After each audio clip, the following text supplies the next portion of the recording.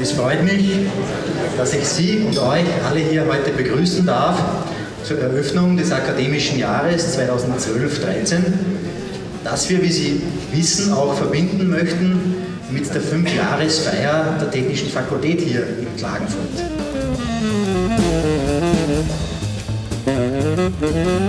Musik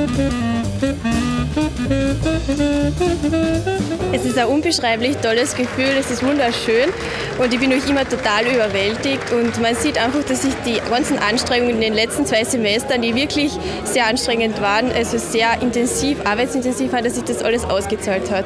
Ich finde die Veranstaltung sehr interessant, man erfährt auch sehr viel Hintergrundinformation zur Devi, sehr viele Sachen, die ich gar nicht gewusst habe, wie sie entstanden ist und ich möchte der Devi auf diesem Wege sozusagen auch alles Gute zum fünfjährigen Bestehen übermitteln. Ja, wir haben ja heute den Beginn des Semesters gemeinsam gefeiert und gleichzeitig hatten wir die Möglichkeit, den fünften Geburtstag der Technischen Fakultät zu feiern. Ein Kind oder ein Baby, das Martin Hitz großgezogen hat, das jetzt erwachsen geworden ist.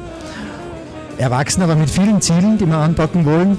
Aber jetzt möchte ich das Wort an den Gründungsdekan übergeben, der ja eigentlich schuld daran ist, dass es uns gibt und dass es uns hier so gut geht.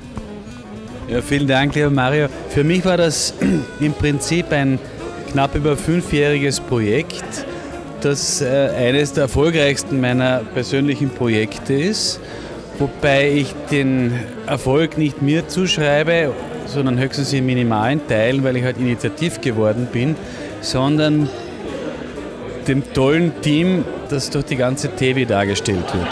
Also wenn man weiß, wie eine Universität funktioniert, weiß man auch, dass man als Dekan eigentlich nichts anschaffen kann, sondern nur Bitten äußern kann. Und in dem Maß, wie meine Bitten immer wieder erhört wurden und zu welchem Erfolg das geführt hat, bin ich total begeistert und erlebe den heutigen Tag als einen kleinen Höhepunkt meiner beruflichen Karriere.